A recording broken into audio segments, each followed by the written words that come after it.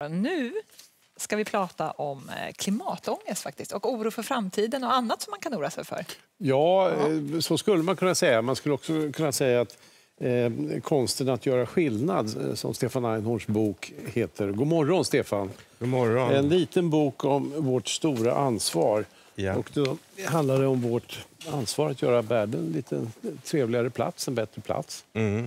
Har vi det ansvaret alla? Ja, jag tycker det faktiskt, eh, inklusive dig och dig. För att eh, vi befinner oss i en väldigt speciell tid. Den vetenskapliga och tekniska utvecklingen har skapat fantastiska möjligheter för människan. Vi botar allt fler sjukdomar, vi lever allt längre, svälten och fattigdomen minskar. Men samtidigt har samma utveckling skapat enorma faror. Vi har en accelererande miljöförstöring i många länder. En produktion av massförstörelsevapen som mycket väl kan användas en dag. De förbättrade transportmöjligheterna har lett till att epidemier sprids på ett sätt som vi inte hade kunnat föreställa oss. Så att vi balanserar idag på en knivsägg mellan möjligheten till en fantastisk utveckling och risken att förstöra alltihop. Och jag menar att vi alla har ett ansvar för framtiden. Nu vill du komma in och ställa en fråga. Nej, för jag, tänkte, nej, jag, jag bara eh, gör en reflektion. För när jag läste förordet så citerade du, och det du berättar nu också får mig att tänka på en tvååring ungefär som har noll omdöme men all kraft att hoppa ut genom fönsterrutan. Och det var eh, det, var det här eh, eh, Stephen Hawking-citatet som du hade i början. Vi befinner oss i den farligaste perioden under mänsklighetens utveckling. Vi har tekniken att förstöra planeten vi lever på men har fortfarande inte utvecklat förmågan att fly härifrån. Mm. Och eftersom vi inte har förmågan att fly härifrån så måste vi göra det bästa Ja. vi kan. Vad är det? Har du några tips och råd? Ja, det första är att man inser att vi har en, både ansvar och en väldig makt att utöva det ansvaret. eh, Att bidra till en bättre värld. Och det kan man göra på väldigt många olika sätt. Man kan göra det i sin närmiljö genom att ställa upp för sina vänner och bekanta och människor som har det jobbigt, människor som har det svårt. Man kan skänka till välgörande ändamål. Vi, vi är ganska generösa, vi svenskar, men, eh, jämfört med en del andra länder. Men vi kan bli ännu mer generösa. Och vi, eh, vi kan eh, gå med i en organisation för att eh, bidra på olika sätt. Vi kan till och med ibland starta en organisation. Det finns eh, oändligt många möjligheter att göra gott, att bidra till en bättre värld om vi bara har den, den eh, bilden framför oss. Att vi faktiskt inte är hjälplösa offer utan att vi kan påverka. Stefan, jag får alltid lite prestationsångest när jag håller dina fantastiska böcker i handen. Konsten att vara snäll och den här konsten att göra skillnad. Eh, Och det är lätt att känna att vad, vad, vad spelar det för roll vad jag, lilla jag gör? Men det gör det ju. Vad, vad är dina bästa råd då till de som kanske resonerar som jag? Att, Ja, alltså alla människors eh, liv eh, hänger ihop. Det, det, det, det vi, de beslut vi fattar påverkar inte bara oss själva utan sprider sig som ringar på vattnet. Och Det är viktigt att vi är medvetna om att eh, det är som den här analogin, en fjäril som viftar med vingarna i Peking eh, kan starta en orkan i New York att vi, vi har alla betydelse. Det är inte bara stora politiker, näringslivschefer, opinionsbildare. Utan alla har en möjlighet att eh, påverka. Och framtiden är inte någonting som bara händer, utan det är, det är någonting som, som eh, vi ser till att den blir. Mm. Det är ett ganska tufft klimat just nu, tycker du inte det? I vilken bemärkelse? Ja, jag, tycker, att- nej, jag tycker inte att det är en så snäll tid.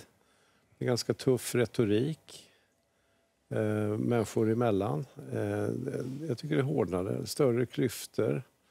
Eh, det, det är någonting som skaver i mänskligheten just nu, tycker du inte det? Ja, det är både och. Alltså, för att om man tittar på eh, vad som händer i världen i avseende på frihet och demokrati till exempel så har den ju minskat 12 år i rad eh, enligt bedömningar. Medan väldigt många eh, går mot en bättre välfärd och en trygghet. Och eh, allt fler barn blir läskunniga. Eh, allt fler, att färre barn eh, dör. Och det här samhällsklimatet, det, det beror på väldigt mycket hur man, eh, vilket perspektiv man ser det ur. För att jag tycker att jag möter väldigt mycket godhet och omtanke. Och människan är huvudsakligen god, annars skulle vi aldrig ha överlevt som art. Men vi har förutsättningar i oss att göra dåliga saker, att skada. Vi har alla mörka sidor. Mm. Och vår uppgift är ju att eh, upptäcka de här mörka sidorna. För att om vi inte är medvetna om att vi har dem så kan vi inte göra någonting åt dem. Men är vi medvetna om att vi har dem så kan vi ha möjlighet att hantera dem. Mm. Men tror du sättet hur man ser på sin omvärld säger mycket om en själv som person? Det säger en, en del om vilken eh, inställning man har till, till eh, livet och verkligheten. Och eh, den varierar högst betänkligt. Men det jag vill säga med den här boken, Konsten att göra skillnad, det är att vi alla kan bidra faktiskt. Men då får vi inte vara uppgivna, utan då måste vi känna att vi har en kraft i oss. Men är det en handbok eller en inspirationsbok tycker du? Jag tycker det är definitivt att det är en inspirationsbok för att jag ger lite råd på slutet, exempel på vad man kan bidra med. Men jag täcker ju inte allt som vi människor kan göra utan jag, jag, jag vill peka på att vi, vi har möjlighet att påverka. Att vi kan göra skillnad. Det, det är så att säga budskapet. Snäll är väl en undervärderad egenskap, tror jag? Att vara snäll. Ja, det är väl det. Mm. För att man kopplar det till mesighet och mm. svaghet och töntighet och så kommer man släpande med den där kossan på ängen. Men jag menar ju att snäll är något av det finaste vi kan vara. Att, men då talar jag om snällhet med omdöme, mod och integritet. När man ibland kan ta tuffa beslut, obekväma beslut. Ni är så försiktiga. Jag skulle vilja hävda att snällhet är extremt underskattat. Ja, vad det är det finaste man kan vara. Ja, vad ja. glad jag blir att du säger det, Jenny. Det behövde inte jag säga. Nej, det är fantastiskt. Ja. Konsten att göra skillnad heter Stefans eh, nya bok. Eh, den är inte jättetjock. Eh, den är smal.